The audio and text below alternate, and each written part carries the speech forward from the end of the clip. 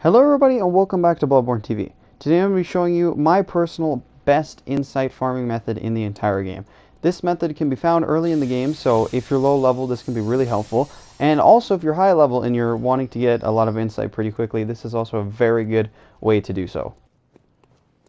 For the first part of this tutorial, we'll have to go down to Old Yharnam and beat the Bloodstarved Beast. So if you haven't accessed Old Yharnam, uh, follow the path that I'm about to take.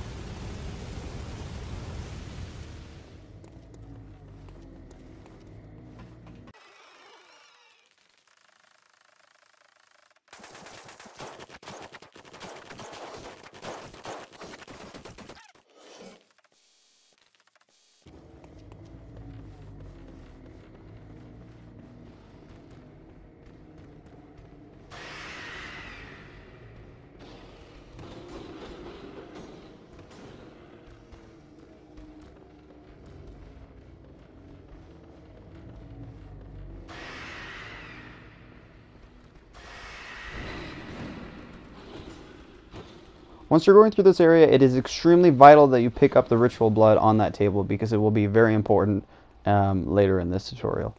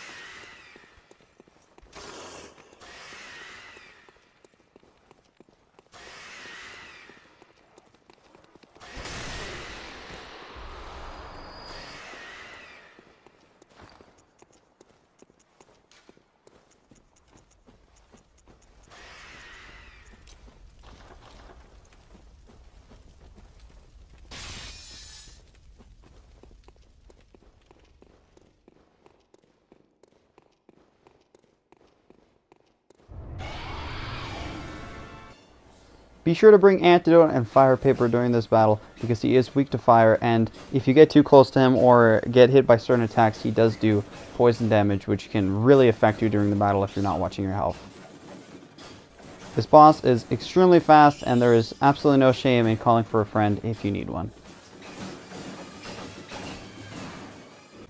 Once you've killed the Bloodstarved Beast, he will drop the Pthumerian Chalice. After the fight, head back to Hunter's Dream and walk up to one of the ritual altars. From here, you'll want to click on Chalice Ritual, click on the Pthumerian Chalice, and conduct the ritual using the ritual blood that we got earlier. For this part, you'll want to write down the glyph code that is in the bottom right of the menu.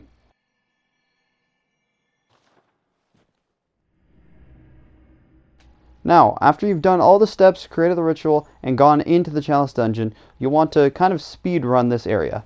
Every time you kill a boss, he'll give you, I believe, 2 insight, which is very helpful. These bosses are pretty easy, especially if you're in late game and you have good weapons. These bosses are a cakewalk. They should go down in 4 to 5 hits. Um, if you're a lower level, they're a little bit harder, but they're not extremely hard. They're way easier than any of the bosses that you fought up to this point. So if you could take on Father Gascoigne, you can definitely take on these guys like completely easier. even some of these enemies that you see in the uh, some of the bosses that you see are basically enemies that you'll encounter through the dungeons normally, so they're, they're definitely not the hard. On average, it takes about 5 to 10 minutes to finish this dungeon, so 6 insight every 5 to 10 minutes is very good.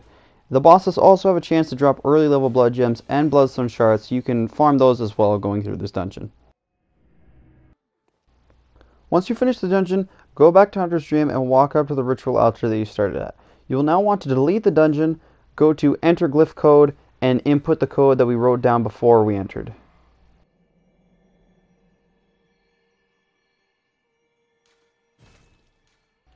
Now you've unlocked the ability to replay the dungeon as many times as you want without using any ritual blood. So congratulations, you can farm this as much as you want, just make sure that you remember that code. Thank you all so much for watching, be sure to like and subscribe, and we'll see you all in the next video. Goodbye!